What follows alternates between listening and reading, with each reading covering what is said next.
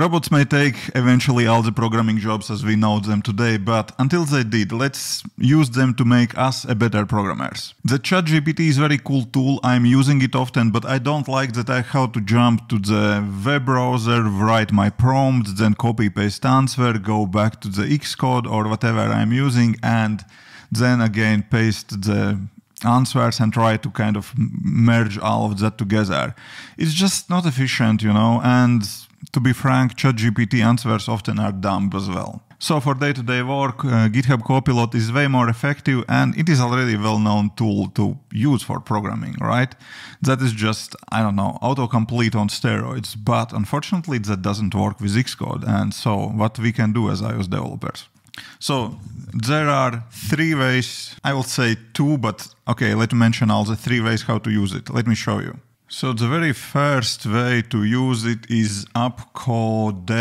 That's basically also ID for iOS programming and it has built-in GitHub Copilot support, but unfortunately it is sunsetted already. So basically they are already kind of killing the product. Okay, let's just forget it. I just mentioned it because it was a good way to use it. Another option is VS Code.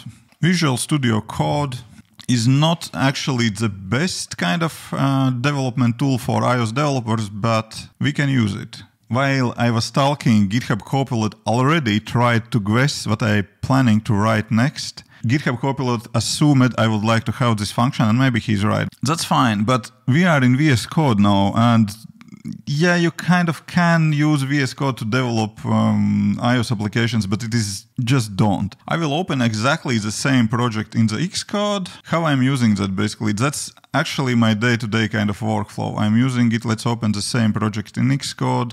Basically, I'm writing longer functions in VS Code to have that full support for autocomplete. Here is the same file. Uh, also this uh, notification manager, let's make that font a little, little bit bigger, but my changes are not here yet. To get them here, basically I'm just hitting command save in this file and here we are.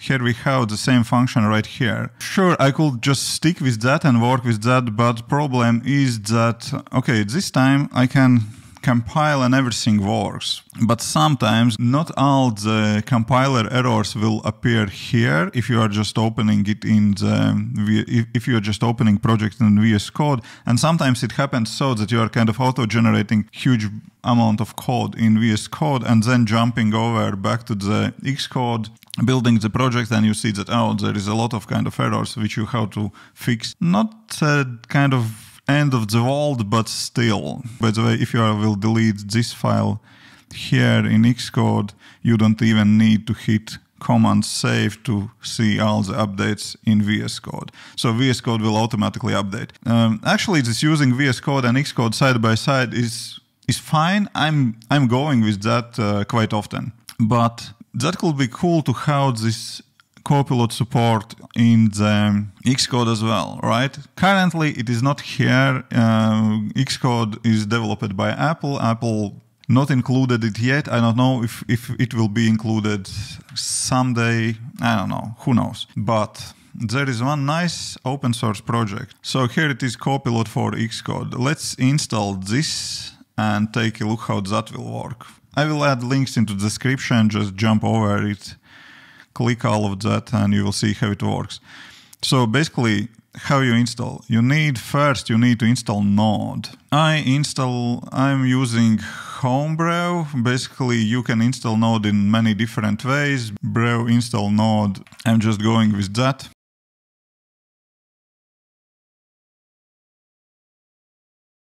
It's getting close, and yeah, congrats as soon as you install it, Node, you are a web developer now. Generating certificates, whatever. Let's take a look what is next step while that node is getting installed.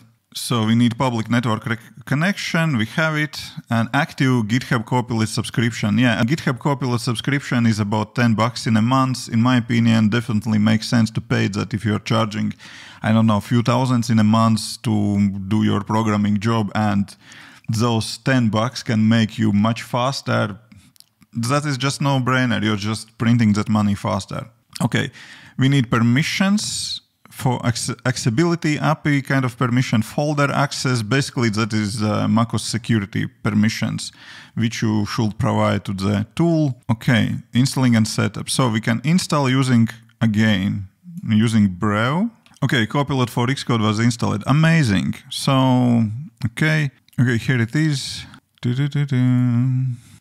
So configuration may be a little bit tricky uh, I'm kind of installing it again from scratch just to see if everything is fine. So basically here is instructions. The same what we have on the GitHub. Install the node, correctly set up the node path. I don't know if that correct node path. We'll see. Enable extension in system settings up from the Apple menu, blah, blah, blah, system settings. Oh, here it is. Extensions, Xcode source editor. Okay, I have it already enabled. Amazing done. Sign in with GitHub Copilot. So we need to do that thing. So I'm signed in in Copilot. I can sign out and I can sign in again. So for device activation, you will need to enter the code, refresh, Status is okay, we are signed in. Amazing. Quiet service when Xcode and host app are terminated. Yeah, basically, yes, real-time suggestions. Yes, I would like to get real-time suggestions. Those real-time suggestions not always works well, but seems that we have updated version for this application. Hopefully it will work better. Okay, done. So, what else? No with Copilot running, I'm opening Xcode. Basically, I'm in the same project here now. Let's add comment. Let's say So here we can go into the editor. And in editor I have a new option here copilot. And if I will hit this one get suggestions I will get github copilot suggestion. Oh we need to enable settings here. Oh this one. Okay. Maybe we will need to relaunch xcode maybe not. Okay one more time. Editor copilot suggestions file it to fetch editing file URL. Okay, if that happens, let's try to restart everything. You know, restarts helps quite often. Let's try to restart everything. Uh, restart this app as well. Okay. Let's try again, get suggestions.